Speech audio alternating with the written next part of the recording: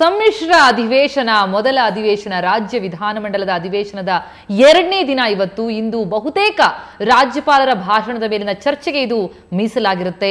ರಾಜ್ಯ ಸರ್ಕಾರದ ವಿರುದ್ಧ ವಾಗ್ದಾಳಿ ನಡೆಸಲಿಕ್ಕೆ ಸಜ್ಜಾಗಿದೆ ವಿಪಕ್ಷ ಬಿಜೆಪಿ. ಇವತ್ತು ರಾಜ್ಯಪಾಲರ ಭಾಷಣದ ಮೇಲಿನ ಚರ್ಚೆಯ ವೇಳೆ ರಾಜ್ಯ ಸರ್ಕಾರದ ವಿರುದ್ಧ ಬಿಜೆಪಿ ಮುಗಿಬೀಳುವಂತಹ ಸಾಧ್ಯತೆ ಇದೆ. ಕಲಾಪದ ಬಹುತೇಕ ಸಮಯ ರಾಜ್ಯಪಾಲರ ಭಾಷಣದ ಮೇಲಿನ ಚರ್ಚೆಗೆ ಮೀಸಲಿಡುವ ಉದ್ದೇಶದಿಂದ ಇವತ್ತಿನ ಕಲಾಪದಲ್ಲಿ ಪ್ರಶ್ನೋತ್ತರ ವೇಳೆ ಹಾಗೂ ಶೂನ್ಯ ವೇಳೆಗೆ ಅವಕಾಶ ನೀಡ್ತಾ ಇಲ್ಲ.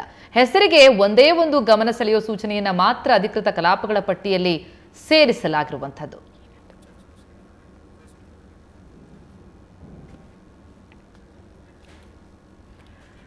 ಎಸ್ ಈ ಬಗ್ಗೆ ಇನ್ನಷ್ಟು ಡೀಟೇಲ್ಸ್ ಅನ್ನ ನೀಡೋದಕ್ಕೆ ವಿಧಾನಸೌಧದ ಬಳಿಯಿಂದ ನಮ್ಮ ಪ್ರತಿನಿಧಿ ಸುರೇಶ್ ನಮ್ಮ ಜೊತೆ ನೇರ ಸಂಪರ್ಕದಲ್ಲಿದ್ದಾರೆ. ಸುರೇಶ್, ಇವತ್ತಿನ ಎರಡನೇ ದಿನದ ಕಲಾಪದ ಹೈಲೈಟ್ಸ್ ಏನಾಗಿರಲಿದೆ?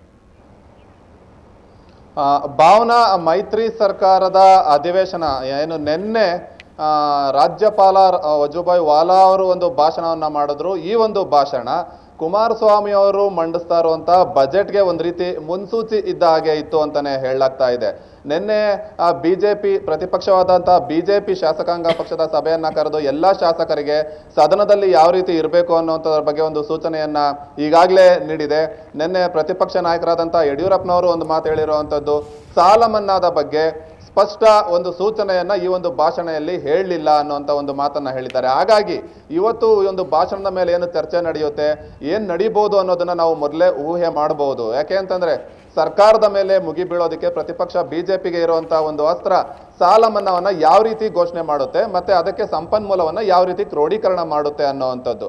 ಅದರ ಜೊತೆಯಲ್ಲಿ ಎಲ್ಲ ಸದಸ್ಯರಿಗೂ, ಹೊಸ ಸದಸ್ಯರಿಗೂ ಯಾವ ರೀತಿ ಸಮರ್ಥಿಸ್ಕೊಳ್ಬೇಕು, ಪ್ರತಿಪಕ್ಷಕ್ಕೆ ಅಂದ್ರೆ ಯಾವ ರೀತಿ ಒಂದು ರೀತಿ ಸರ್ಕಾರದ ಮೇಲೆ ಮುಗಿಬೀಳುವಂತ ಸಂದರ್ಭದಲ್ಲಿ ಒಬ್ರಿಗೊಬ್ರು ಯಾವ ರೀತಿ ಸಾಥ್ ಕೊಡಬೇಕು ಅನ್ನೋಂಥದ್ರ ಬಗ್ಗೆ ನಿನ್ನೆ ಒಂದಷ್ಟು ಸೂಚನೆಗಳನ್ನ ಸಹ ಕೊಟ್ಟಿರುವಂತದ್ದು ಅದರ ಜೊತೆಗೆ ರಾಜ್ಯಪಾಲರ ಭಾಷಣದಲ್ಲಿ ಕೇಂದ್ರ ಸರ್ಕಾರದಿಂದ ರಾಜ್ಯ ಸರ್ಕಾರಕ್ಕೆ ಬರ್ತಾ ಅನುದಾನದ ಯಾವುದೇ ಒಂದು ಅಂಕಿ ಅಂಶಗಳನ್ನ ಕೊಟ್ಟಿಲ್ಲ. ಇದು ರಾಜ್ಯ ಸರ್ಕಾರ, ಕೇಂದ್ರ ಸರ್ಕಾರದ ನಡುವೆ ಒಂದು ಸಮನ್ವಯತ ಕೊರತೆ ಎದ್ದು ಕಾಣ್ತಾ ಇದೆ ಅನ್ನೋಂಥ ವಿಚಾರವನ್ನ ಸಹ ಯಡಿಯೂರಪ್ಪನವರು ಹೇಳಿರುವಂತದ್ದು ಹಾಗಾಗಿ ರಾಜ್ಯ ಸರ್ಕಾರದ ಮೇಲೆ ಮುಗಿಬೀಳೋದಕ್ಕೆ ಎಲ್ಲ ಒಂದು ವಿಚಾರಗಳನ್ನ ಇಟ್ಕೊಂಡು ಇವತ್ತು ರಾಜ್ಯಪಾಲರ ಭಾಷಣದ ಒಂದು ನೆಪದಲ್ಲಿ ರಾಜ್ಯ ಸರ್ಕಾರ ಯಾವ ರೀತಿ ವೈಫಲ್ಯಗಳು ಅಂದ್ರೆ ಇನ್ನು ಮುಂದೆ ತೆಗೆದುಕೊಳ್ಬೇಕಂತ ಅಂದ್ರೆ ಬದ್ಧತೆಯನ್ನ ಸರಿಯಾಗಿ ಅದನ್ನು ಎಚ್ಚರಿಸುವಂತ ಕೆಲಸವನ್ನ ಪ್ರತಿಪಕ್ಷವಾದಂತ ಪಿ ಮಾಡುತ್ತೆ, ಅದರ ಜೊತೆಗೆ ಸಾಲ ಮನ್ನಾಗೆ ಯಾವ ರೀತಿ ಸಂಪನ್ಮೂಲ ಕ್ರೋಢೀಕರಣ ಮಾಡ್ತೀರಾ ಅನ್ನುವಂಥ ಒಂದು ವಿಚಾರಗಳನ್ನು ಸಹ ತೆಗೆದುಕೊಳ್ಳುವಂಥದ್ದು ಮೈತ್ರಿ ಸರ್ಕಾರದಲ್ಲಿ ಸಮನ್ವಯತೆ ಕೊರತೆ ಇರುವಂಥ ವಿಚಾರಗಳನ್ನು ಸಹ ತೆಗೆದುಕೊಳ್ಳುವಂಥದ್ದು,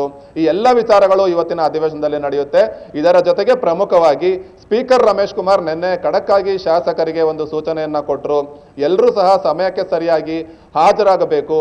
ಮುಖ್ಯಮಂತ್ರಿಗಳ ಬಳಿ ಸುತ್ತಕೊಂಡು ಕಾಲಹರಣ ಮಾಡಬಾರದು ಅರ್ಜಿಯನ್ನು ಹಿಡ್ಕೊಂಡು ಅವರ ಸುತ್ತಮುತ್ತ ಬಂದು ಮುಜುಗರವನ್ನ ಉಂಟು ಮಾಡಬಾರದು ಅನ್ನುವಂಥ ಸೂಚನೆಯನ್ನು ಕೊಟ್ಟರು ಹಾಗಾಗಿ ಆ, ಸ್ಪೀಕರ್ ಸಹ ರಮೇಶ್ ಕುಮಾರ್ ಅವರು ಸಹ ಯಾವ ರೀತಿ ಸದನವನ್ನು ನಡೆಸ್ಕೊಂಡು ಹೋಗ್ತಾರೆ ಅನ್ನುವಂಥ ವಿಚಾರ ಸಹ ಸಾಕಷ್ಟು ಕುತೂಹಲಗಳನ್ನು ಮೂಡಿಸಿದೆ ಭಾವನಾ. ಎಸ್ ಧನ್ಯವಾದ.